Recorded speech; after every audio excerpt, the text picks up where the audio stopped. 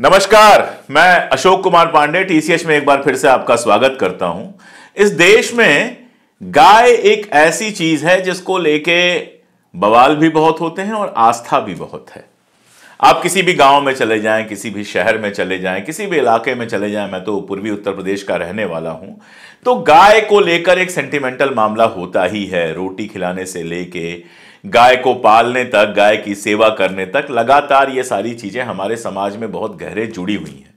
और इसीलिए जब भी गोकशी का मामला आता है, गाय काटने का मामला या गाय को मारने का मामला आता है, तमाशा हर बार होता है और बहुत ज़्यादा होता है और लोगों के अंदर भी बहुत गुस्सा भर जाता है।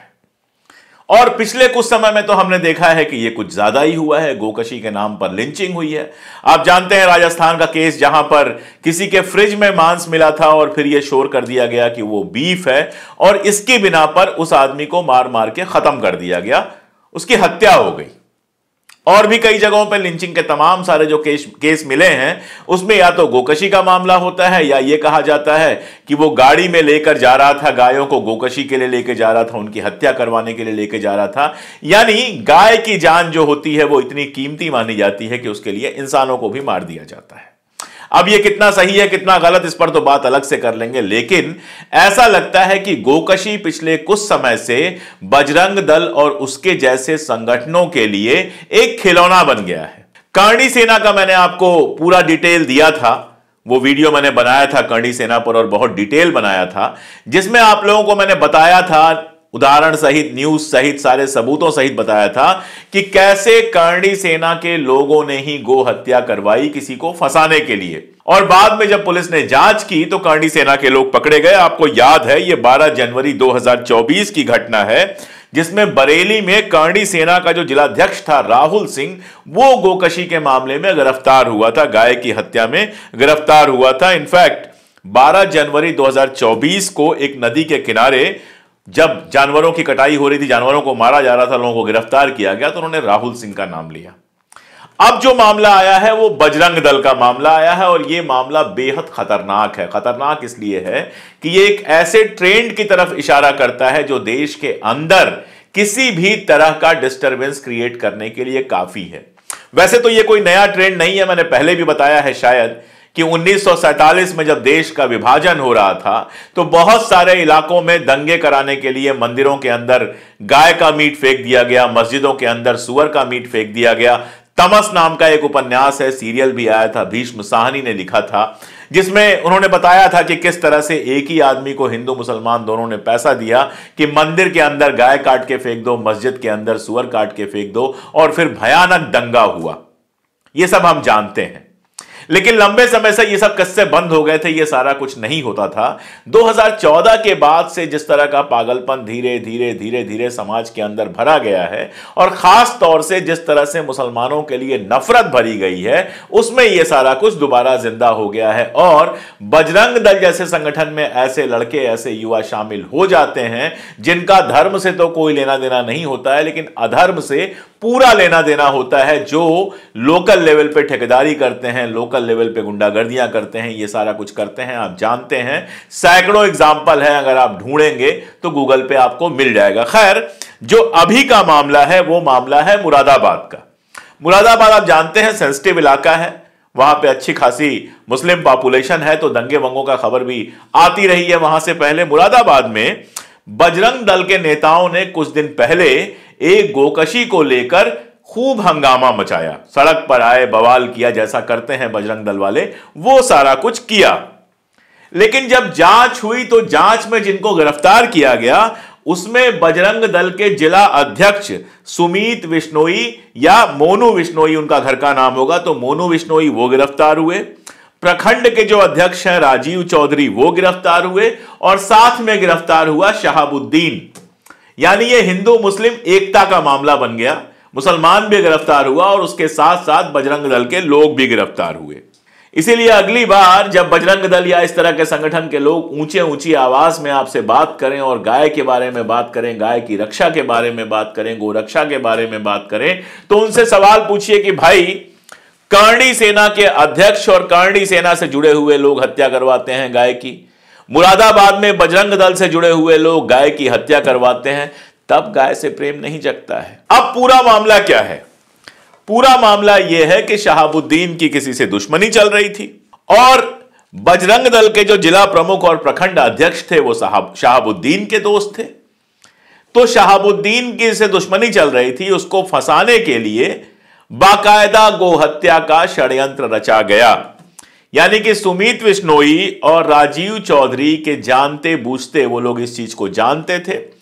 वो इसकी सरपरस्ती कर रहे थे, वो इसकी निगरानी कर रहे थे और उनके निगरानी में एक गाय की हत्या पहले की गई। अब जब उस गाय की हत्या की गई, तमाशा मचा, पुलिस ने जाँच किया, कोई सबूत नहीं मिला तो अज्ञात के नाम से मुकदमा दर्ज किया गया। अब अज्ञात के नाम से मुकदमा दर्ज करने से काम तो बनता नहीं, क्योंकि इनको तो किसी से दुश्मनी निकालनी थी। तो फिर इन्होंने दोबारा एक गाय की हत्या की। और उस हत्या में नईम को फंसाने की कोशिश की गई। जब ये अवशेष मिले, गाय को कटा, गाय जब काटी गई और गाय के अवशेष मिले, जो कटाफटा उसका अंग मिला, उसको लेकर तमाशा मचाया गया। अब जब यह तमाशा मचा तो पुलिस ने जाँच करनी शुरू की। जब पुलिस ने जाँच करनी शुरू की तो पता चला कि शहाबुद्दीन के भाई की कुछ लोगों ने हत्या करवा रखी थी और उसमें कोई गिरफ्तारी ना होने से उसको लगता था कि नईम ने शायद हत्या करवाई हो। वो छजलैट का जो थाना प्रभारी था, उससे नाराज़ था।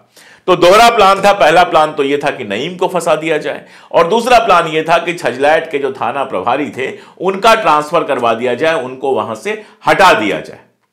और उसके चलते ये सारी साजिश रची गई, जिसमें साथ में आए सुमित विश्नोई और राजीव चौधरी, जो बजरंग दल के जिला अध्यक्ष और प्रखंड अध्यक्ष हैं। अब ये तो थी खबर। इस खबर को जरा सोच के देखिए। गाय की हत्या को लेके बजरंग दल इतना ज़्यादा बातें करता है, इतना सेंसिटिव है। अभी छिंदवाड़ा की घटना है, वहाँ पर गो हत्या का आरोप लगा के बहुत शोर मचाया गया। 28 जनवरी की घटना है, बजरंग दल सड़क पर आया और सड़क पर आने के बाद जब एक शमीम खान नाम के व्यक्ति को गिरफ़्तार किया गया तो जैसा आजकल रिवाज बन गया है, उसके घर को भी बुलडोजर से तोड़ दिया गया। तो यहाँ पर तो दो हिंदू लोग गिरफ़्तार हुए हैं, वैसे हिंदू लोग जो गाय को लेकर गो माता को लेकर बहुत बड़ी बड़ी बातें करते हैं, लेकिन इनकी सरपरस्ती में गाय की हत्या हुई। यानी अपना स्वार्थ निकालने के लिए इनको गाय की हत्या करवाने में भी कोई समस्या नहीं हुई। यानी गाय से इनका प्रेम नहीं है, इनका प्रेम किसी और चीज़ से है, पॉलिटिक्स से है, दंगे करवाने से है, बाकी सारी चीज़ों से है। और उससे भी बड़ी बात कि आदित्यनाथ के राज में, योगी आदित्यनाथ के राज में जहाँ जरा जरा सी बात पर बुलडोजर चल जाता है अभी जब मैं आपके सामने हूँ तो इनमें से किसी के घर पर बुलडोजर नहीं चला है। मैं साफ़ बता दूँ कि बुलडोजर वाला जो पूरा न्याय है, मैं उस न्याय के खिलाफ हूँ।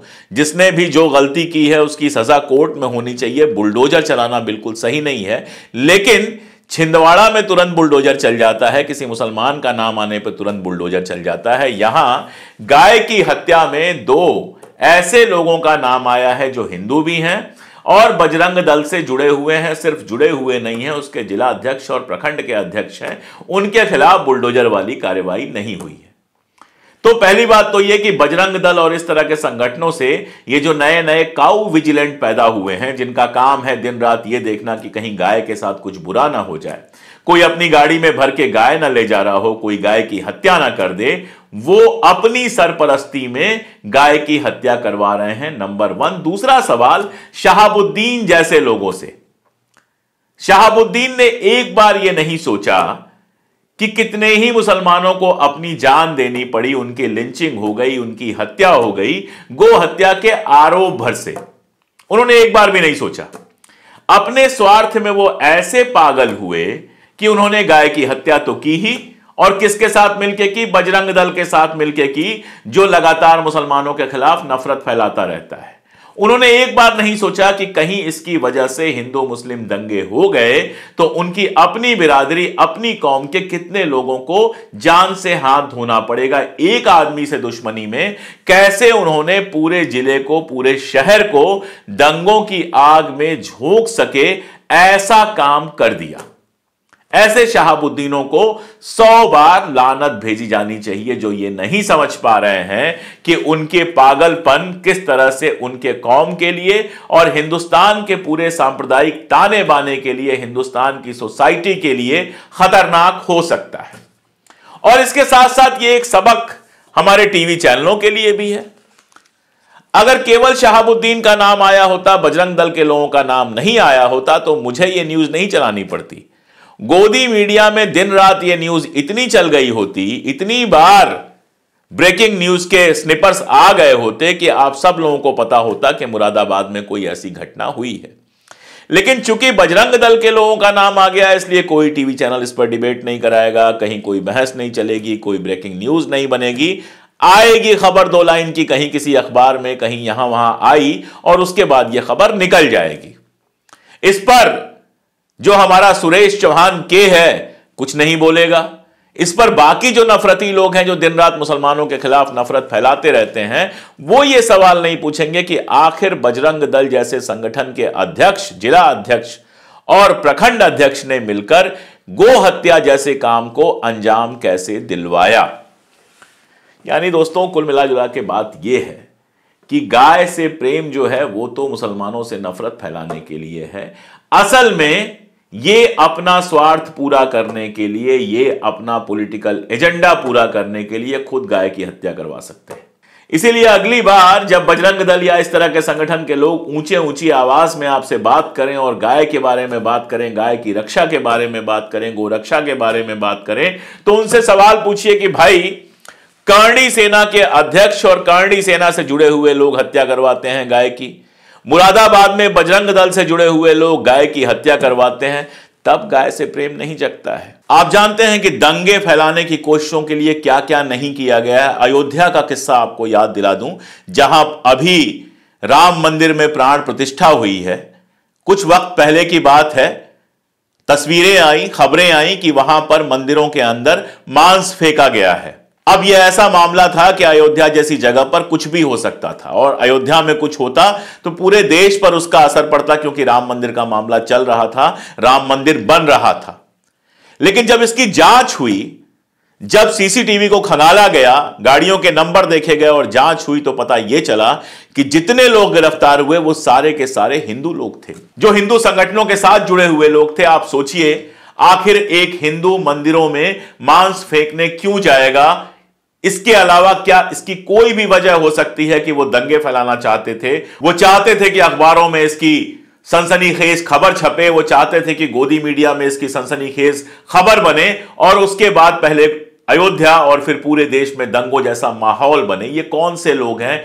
क्यों चाहते हैं लगातार देश में दंगा फैलाना? ये आप भी समझते हैं और मैं भी समझता हूँ। गाय से अगर इतना ही प्रेम है तो हमारे देश में गौशालाओं की जो हालत है, उससे किसी को कोई दुख, कोई दर्द नहीं उपजता है। अकेले उत्तर प्रदेश से इतनी सारी खबरें आई हैं, गौशालाओं में इतनी सारी चीज़ें हुई हैं, गौशालाओं की ऐसी ऐसी खबरें आई हैं, ऐसी ऐसी तस्वीरें आई हैं कि देख के दिल दहल जाता है कि इससे तो अच्छा था इन जानवरों को कम से कम किसी ऐसी जगह रखा जाता जहाँ इनको खाने पीने को मिलता। लेकिन एक तरफ़ उत्तर प्रदेश में साढ़ का तमाशा मचा हुआ है। हर सड़क पर आपको साढ़ दिखाई देंगे।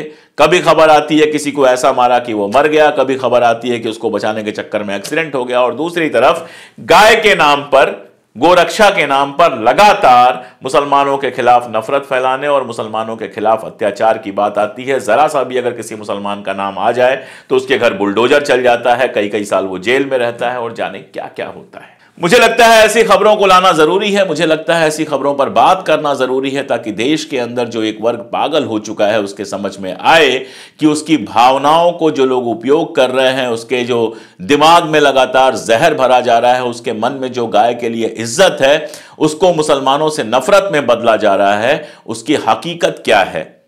वो लोग कौन हैं? वो लोग किस तरह से अपना पॉलिटिकल एजेंडा पूरा कर रहे हैं? किस तरह से उनके मन में न गाय के लिए कोई प्रेम है, ना धर्म के लिए कोई प्रेम है? वो किसी भी तरह से अपनी राजनीतिक रोटियाँ सेकना चाहते हैं। हर लाश पर वो अपनी राजनीतिक रोटी सेक सकते हैं, चाहे वो लाश इंसान की हो, चाहे गाय की।